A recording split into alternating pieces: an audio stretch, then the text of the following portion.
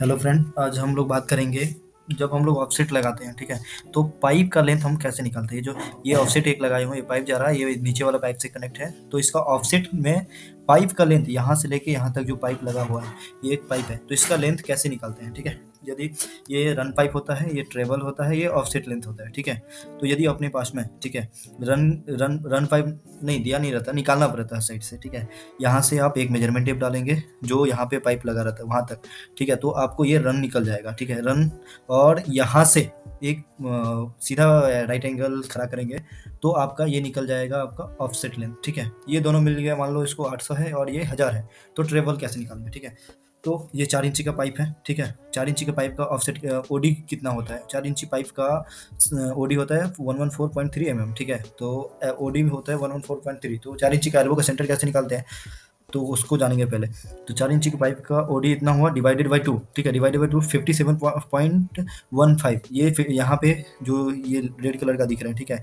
तो आधा हो जाएगा। ये पाइप का ओडी है, उसका आधा यहाँ पे आ गया। इसको मार्क करेंगे दोनों साइड से, दोनों साइड से मार्क करने के बाद इसको एल्बो को पूरा स्थिर कर लेना है, ठीक है? उसके बाद में यहाँ से एक राइट एंगल लगाना है, यहाँ तक, और यहाँ इस साइड में भी मार्क करने के बाद यहाँ से भी एक राइट एंगल लगाना है, ठीक है? तो ये जो सेंटर निकलेगा, ठीक है? तो वो हो जाता है अपना क्या? एल्बो का सेंटर ठीक है? ऐसे हम लोग एल्बो का सेंटर निकालते हैं मैनुअली और अभी यहाँ पे निकाल के दिखाएँगे हम लोग एक फॉर्मूले के थ्रू एल्बो का सेंटर बराबर होता है आर आर मतलब होता है आपका जो एल एल्बो होता है सबका स्टैंडर्ड होता है तीन तरह का एल्बो होता है शॉर्ट रेडियस एल्बो होता है लॉन्ग रेडियस होता है एक स्टैंडर्ड होता है। तो स्टैंडर्ड रेडियस में एल, एल आर जो होता है रेडियस वो अड़तीस पॉइंट वन होता है ये अड़तीस पॉइंट वन होता है कन्फर्म है।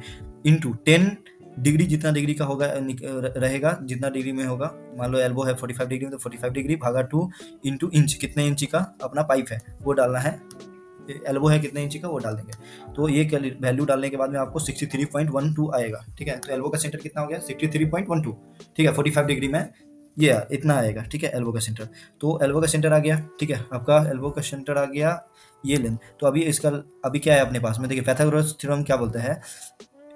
सी स्क्वायर बराबर A square plus B square मतलब कर्ण स्क्वायर बराबर हम लोग भी पढ़े होंगे आठवीं, नौवीं में। कर्ण स्क्वायर बराबर लंबे स्क्वायर प्लस आधार स्क्वायर वही होता है ना? तो सेम चीज़ है।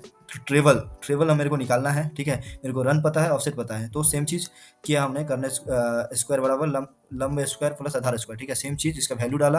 वैल्यू डालने के बाद में ये आएगा आपको। उसको फिर रूट में कन्वर्ट करेंगे। रूट में कन्वर्ट करने के बाद में आपको वन बारह सौ अस्सी पॉइंट छः एम एम हो गया आपका ये ट्रेवल ट्रेवल मतलब यहाँ से लेके एल्बो के सेंटर से लेके, यहाँ तक मतलब यहाँ के एल्बो सेंटर तक, ये ट्रेवल हो गया। ट्रेवल का लेंथ ये निकला ठीक है? तो अपन अब क्या करेंगे? मेरे को चाहिए क्या? ये पाइप का लेंथ तो पाइप का लेंथ निकालने के लिए पाइप का लेंथ बराबर बारह सौ अस्सी माइनस इसको माइनस कर देंगे अपन बारह सौ अस्सी मतलब ट्रेवल लेंथ में, से माइनस कर देंगे अपन ऑफसेट का। दोनों साइड का ऑफसेट जितना हो था वो माइनस कर देंगे। दोनों साइड का ऑफसेट कितना निकला है? इतना। तो ये इसको हमने माइनस कर दिया ठीक है? तो मतलब sixty three point one two into two कर दिया यहाँ पे ठीक है? तो अपना ये जो वैल्यू निकला इलेवन फिफ्टी थ्री मतलब ग्यारह सौ तिरपन पॉइंट एट ये ग्यारह सौ तिरपन पॉइंट एट एम जो होता है हुआ है अभी हमारा ये पाइप का लेंथ निकला है। तो इस तरह से हम पाइप का लेंथ कैलकुलेट करते हैं और ऑफसेट में, जो अपना साइट पे, इंडस्ट्रियल में कहीं पे भी यूज़ होता है। Thanks for watching.